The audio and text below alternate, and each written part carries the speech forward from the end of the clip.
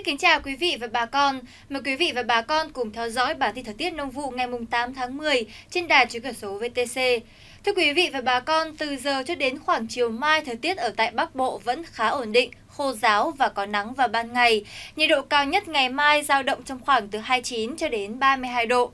Dự báo khoảng tối và đêm mai, khối khí lạnh di chuyển xuống sẽ gây mưa rào và rông diện rộng cho Bắc Bộ. Riêng ở các tỉnh vùng núi phía Bắc có thể xuất hiện mưa vừa, thậm chí mưa to và rông mạnh.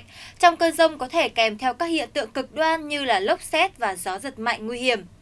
Thưa quý vị và bà con, đến thời điểm này, hầu hết diện tích trồng cây vụ đông ưa ấm ở các tỉnh thành miền Bắc đã được gieo trồng và đang bước vào giai đoạn chăm sóc. Để cây mùa vụ đông ưa ấm sinh trưởng, phát triển tốt và cho năng suất cao, bà con cần chú ý một số biện pháp kỹ thuật tưới nước như sau. Các loại cây trồng trong vụ đông đều cần nước, vì vậy bà con cần thường xuyên tưới nước, bảo đảm cho cây nhanh bén rễ hồi xanh và sinh trưởng phát triển tốt. Nếu gặp mưa, bà con cần khẩn trương tiêu thoát nước nhanh tránh bị thối rễ, chết rột đối với dưa bí.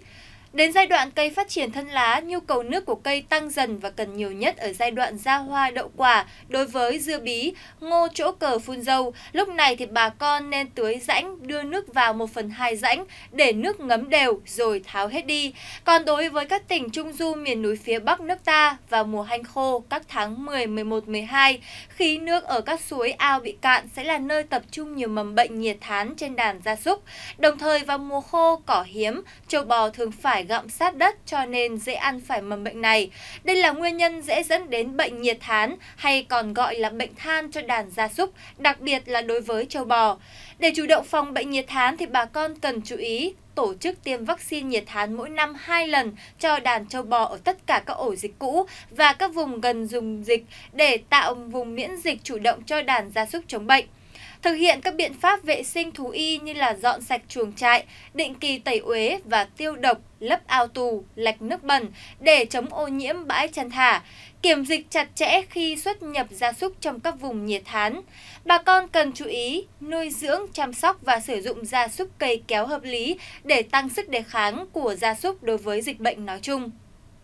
Khi phát hiện gia súc mắc bệnh hoặc là nghi chết do mắc bệnh nhiệt thán, bà con cần tổ chức vệ sinh, khử trùng, thu gom chất độc chuồng, chất thải chăn nuôi, xác gia súc để đốt, trôn và đổ bê tông hố trôn theo đúng quy định.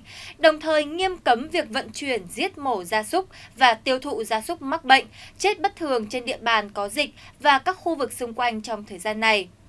Tiếp tục với tình hình thời tiết ở tại miền Trung, trong đêm nay và ngày mai thời tiết khá ổn định. Ban ngày trời có nắng sớm với nhiệt độ trưa và chiều mai phổ biến ở mức từ 30 cho đến 33 độ. Trạng thái ít mưa nắng nhiều cũng diễn ra ở hầu khắp các tỉnh Tây Nguyên và Nam Bộ trong ngày mai. Dự báo trong khoảng thời gian từ sáng cho đến 17 giờ chiều mai, trời ít mưa, ngày nắng. Nhiệt độ ở tại Tây Nguyên sẽ dao động từ 29 cho đến 32 độ, trong khi đó ở tại Nam Bộ là 31 cho đến 33 độ.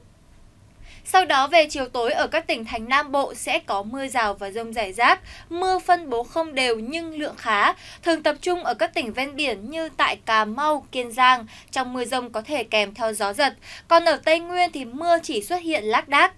Và tiếp theo mời bà con cùng theo dõi phần dự báo chi tiết cho đêm nay và ngày mai cho các khu vực trên cả nước. Ở phía Tây Bắc Bộ, đêm có mưa ở vài nơi, sáng sớm có nơi có sương mù, ngày nắng, đêm và sáng sớm trời lạnh, gió nhẹ.